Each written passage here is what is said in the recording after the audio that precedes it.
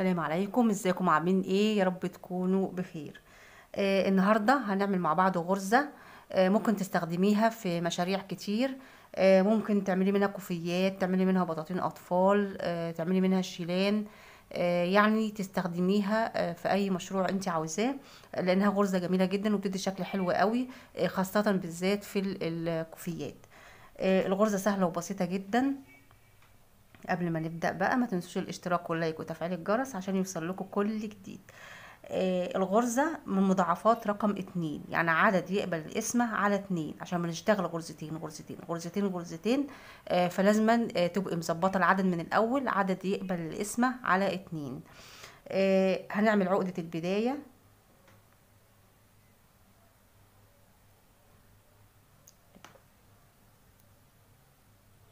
هعمل عدد سلاسل مضاعفات رقم اتنين.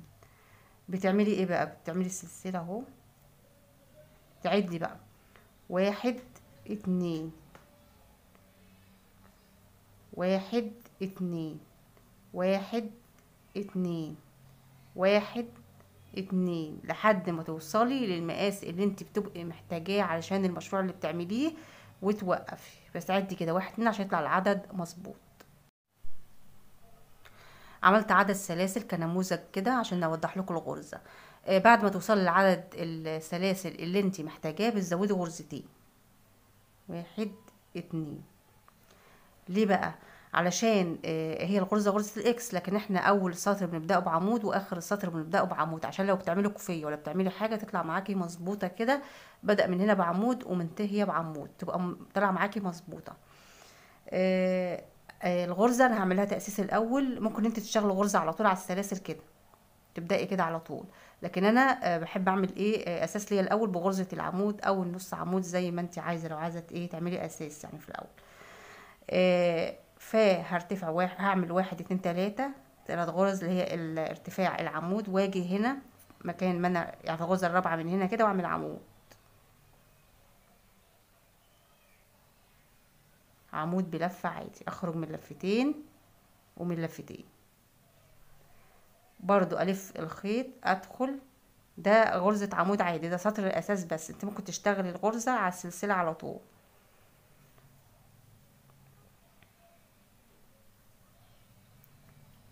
عمود كده. هعمل بقى السطر كله بغرزة العمود بلفة. خلصت السطر كله. آه سطر كله أعمدة بالشكل ده. آه هنبدأ بقى دلوقتي نشتغل الغرزة بتاعتنا اللي هي غرزة ال X زي ما قلت لكم. هنبدأ السطر واحد اتنين تلاتة. عشان قلنا هنبدأ بعمود وننهي بعمود. الثلاث سلاسل دول يعتبروا عمود. بص بقى عندي الغرزة دي والغرزة دي. خلاص؟ هسيب دي واشتغل هنا. هلف الخيط على الإبرة. هسيب دي هاجي في اللي بعدها أعمل عمود بلف. كده أهي عمود بلف. الغرزة اللي أنا سبتها هرجع لها تاني هلف الخيط وهرجع للغرزة اللي أنا سبتها تاني أعمل عمود بلف يعني بشتغل في الغرزة التانية قبل الغرزة الأولى. كده ادتني حرف ال X تاني عشان كده بقولك مضاعفات رقم اتنين عشان بنشتغل في الغرزتين مع بعض. عشان يعني حرف ال X لازم تشتغل في الاتنين كده عشان يديك الحرف. هنسيب الغرزة دي وأجي في اللي بعدها دي أعمل عمود.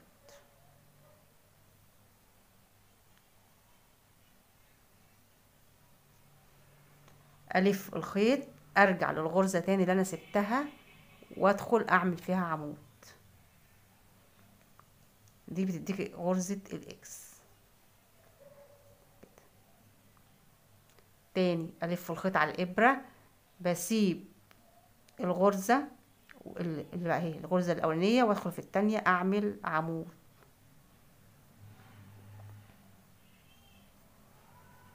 ألف الخيط. أرجع للغرزة اللي أنا سبتها وأعمل عمود.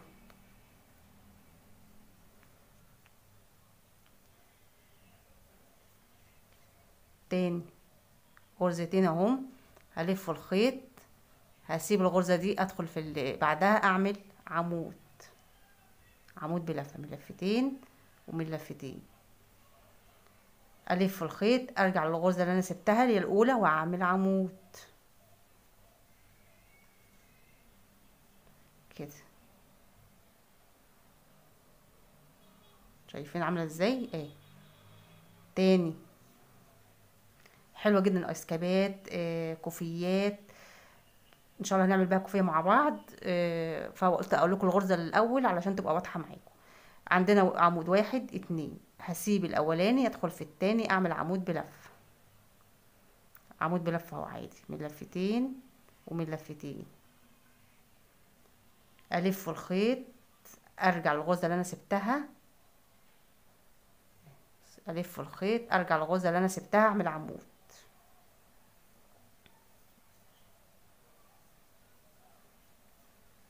ألف الخيط. أكنك بتشتغل عمود عادي أهو اعمده عادي بس بدل ما تدخلي في الغرزه الأولى تدخلي في الغرزه التانية الأول. وبعدين أرجع بقى للغرزه اللي أنا سبتها أعمل فيها عمود. فبتديك حرف الإكس. كده. ألف الخيط بسيب الغرزة الأولى أدخل في التانية أعمل عمود. ألف الخيط أرجع اللي أنا سبتها وأعمل عمود. كده.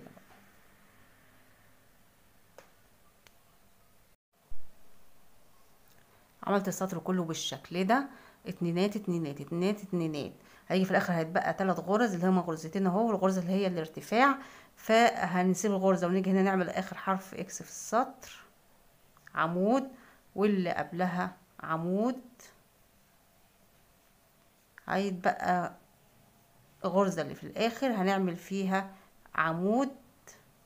تنسيش الغرزه اللي في الآخر عشان السطر يطلع معاك مستقيم. يبقى إحنا بدأنا بعمود وقفلنا بعمود السطر بيبدأ بعمود وبينتهي بعمود كده عشان تطلع معاك مستقيمة. وفي النص حرف الإكس.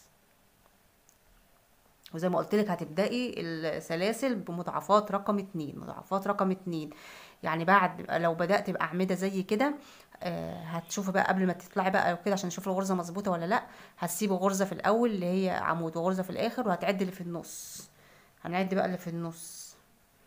بالاتنين كده. عمودين عمودين عمودين عمودين عمودين عمودين كده لحد ما تلاقيهم مظبوطين في الآخر بس في عمود عمود لوحده من هنا وعمود لوحده من هنا.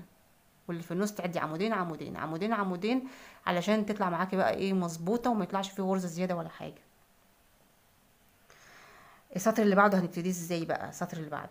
هن... هنرتفع واحد اتنين تلاتة ارتفاع العمود بلفة ونلف الشغل برضه. بص هتبقى سهلة اهي عادي. دي مكان عمود وده مكان عمود اهو. ادي غرزة وادي غرزة. ما هم عمودين عادي كنا بنشتغلهم عادي.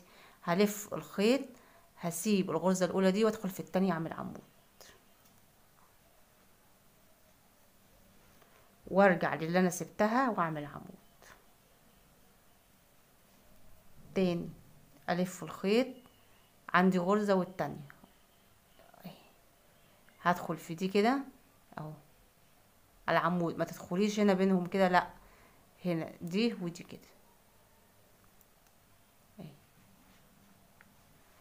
هسيب الأولى أدخل في التانية أعمل عمود.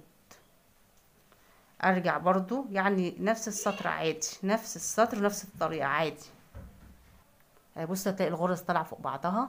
بصي أهي كده فوق بعض. مش خلف خلاف فوق بعض.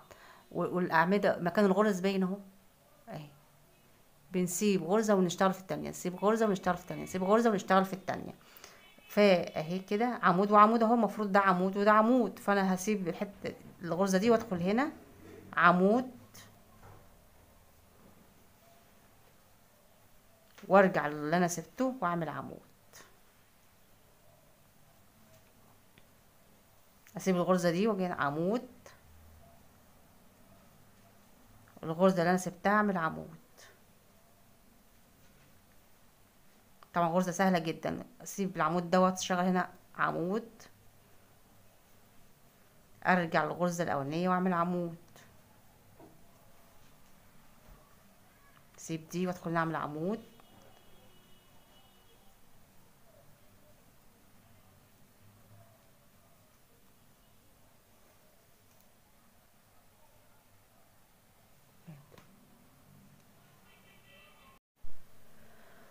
اشتغلت السطر كله ده السطر التاني أهو في الغرزة يعني.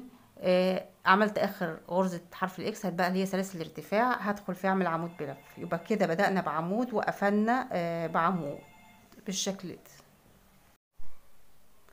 كده خلصنا السطر أهو بالشكل ده. بص حلوة قوي إزاي؟ جميلة جدا. هرتفع ثلاث سلاسل برضو. بعد كده تكرار بقى هتبدأي تكرري الغرز باينة اهي. وده كأنه عمود وده عمود عادي. هسيب العمود الأولاني وأدخل في التاني وأعمل عمود. أرجع بقى على أنا سبته وأعمل عمود. أسيب الغرزة دي وأجي في اللي بعدها أعمل عمود. آجي برضو في اللي أنا سبتها وأعمل عمود.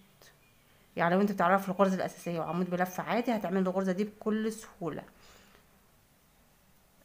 أهم حاجة زي ما قلت لك مضاعفات رقم اتنين. وتزودي غرزتين بعد ما توصلي للمقاس اللي انت عاوزاه عشان هنبدأ بعمود وننهي بعمود. والأساس بتاعها إن انت بتدخلي بتسيبي الغرزة الأولى تدخلي في التانية. وبعدين ترجعي تشتغلي في الأولى تاني. تسيبي الأولى وتدخلي في التانية. وبعدين أرجع أشتغل في الأولى تاني. أسيب الأولى أدخل في التانية. وبعدين أرجع أشتغل في الأولى يعني مش بسيبها. كده. بالشكل ده.